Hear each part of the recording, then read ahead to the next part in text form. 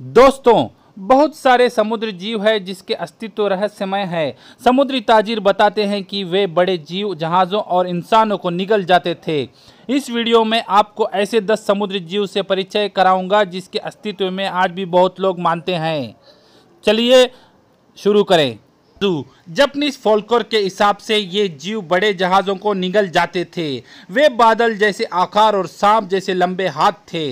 ये जीव की शक्ल गंजों की तरह है। इन शैतानी जीवों को मोतियों के भी कहा जाता है, जिसका तात्पर्य यह है कि इंसान और जादुई शक्तियों के होते हैं। ये गंजे शक्ल में होते हैं और समझ में ये है कि ये बहुत श्रद्धालु होते हैं। योरमूर गांडर, ये एक बड़े आकार का सांप है जो अंदरूनी समुद्र में रहता है। एक कहानी में बताया गया है कि एक बार थोर भगवान मछली पकड़ने जाके सांप के मुँह में कांटा फंसा दिए थे और उसको बड़ी तकलीफ़ से निकाला था। ये सिर्फ़ पूरी दुनिया में घूमता है। ये सिर्फ़ लोकी ने बनाया था और बड़े जेंट को अंगल बोधा ने बनाया था। ये इतना बड़ा जीव है, पूरी दुनिया को लपेटे में ले सकता है, जो अपनी खुद की दुम काट लेता है और एक बड़ा चक्र बनाता है। थोर भगवान ने सांप को तीसरे युद्ध में मार डाला, लेकिन उसके पॉइजन से खुद भी मर गया।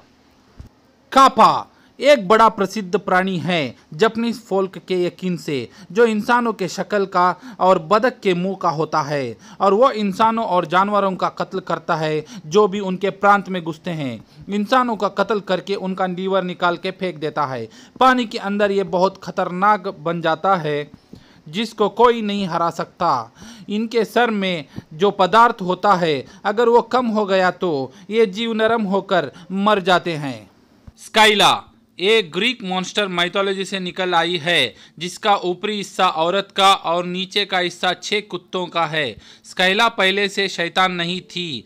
हकीकत में वो एक सुंदर औरत थी, मगर हिरशा और जहर जो पानी में घुला गया था, उसे जब स्कैला ने स्नान किया तो उसका नाभि से छह कुत्ते निकल आए, जिसका, जिसकी वजह से वो एक शैतान बन गई और अपना बदला लोगों से लेने लगी और खाने लगी। उदाहरण, ओटियस और उसके छः लोग को खा गई।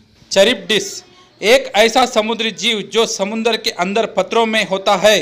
दिन में तीन बार वो जीव पानी को बहरा बनाकर सारे चीज़ों को निगल जाता है। और वापस पानी के भौरे को रोक देता है। अनजाना दिखता है, मगर कहलाता है कि वो समुद्री भगवान प्रसिडस की बेटी है और काया अर्थ उसकी माँ है। उसने हरकुलस के बैल को चुराया था, जिसकी वजह से हरकुलस ने उसको चरिपडिस बना दिया।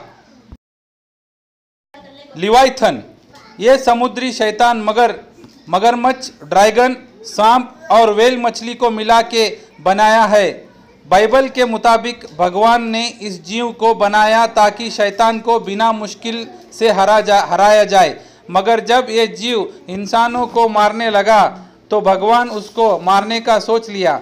जब लेवाइथन और बेहिमत की जंग होती है, भगवान अपने तलवार से दोनों को मार दे, गिराता है। इस तरह लिवाइथन का अंत हो गया। इकुतरसो मलेशिया का, मलेशिया के समुद्री दरिंदा है। इसका परिचय अभी साफ़ नहीं है।